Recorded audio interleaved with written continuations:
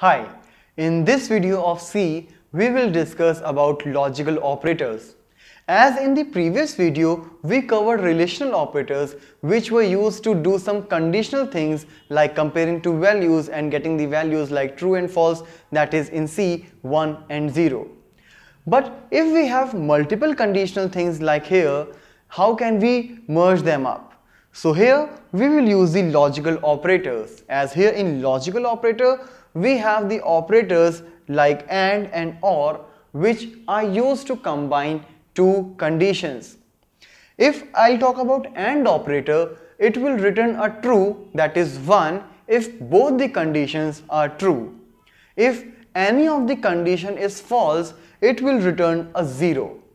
Similarly, if I talk about OR operator, it will return a false only when both the conditions are false. But if any of the condition is returning a true, it will return a true, means 1. Similarly, if I'll talk about the NOT operator, this NOT operator is a unary operator which will simply convert a 0 to 1 means a false to true and true to false. So let's see a practical implementation for all these three logical operators. So for the relational operator AND, here I have taken a variable c which will store the result returned by the AND operator. And as I said earlier several times, like here 1 will represent a true and 0 will represent a false. So accordingly, this AND operator will work as in the first statement when both the values are 1 so in the resultant you will also get a 1 while if any one of the value whether the second one or the first one or both are having 0 so the resultant of AND operator will be a 0 so when I will execute this you can see only in the first condition it is returning us a 1 after that all the three are having 0 so this is what happens with the AND operator. Like it will return a true when both the conditions will be true but let me now replace this AND operator with the OR in all the places. So now you can see like I have replaced the AND operator with the OR operator by using the double pipe symbol.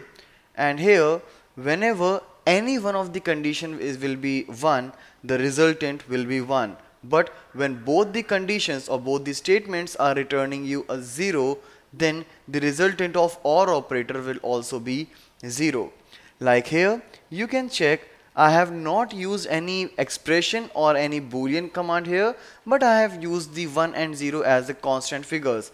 But definitely you can pass any expression using the relational operator which will which will give you a value like 0 or 1 so if I'll execute I will observe like only in the last when both the conditions or both the values are 0 the resultant of OR operator is coming 0 otherwise in any of the previous statements you will find 1 as the output whether both or any one condition is true. But in the very reverse if I'll do something like if I will use this exclamation along with this these values let me put exclamation in all the printfs which is nothing but the not operator. So it will just give you a reverse value.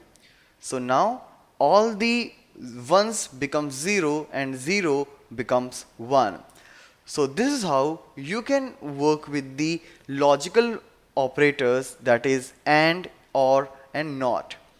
In the future we will use these statements in order to pass in any decision making such as in if statement or in any loop in order to tell like how many times I want to execute a particular given loop. So this is all about the logical operators.